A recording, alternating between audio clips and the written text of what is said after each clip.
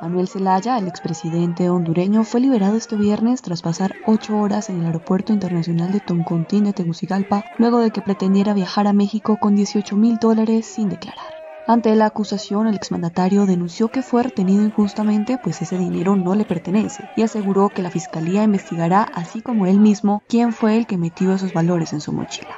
El dinero se encontraba en un sobre de papel en su maleta de mano. Sin embargo, también afirmó que no tiene ningún problema para salir del país pues no emitieron ninguna orden de captura en su contra.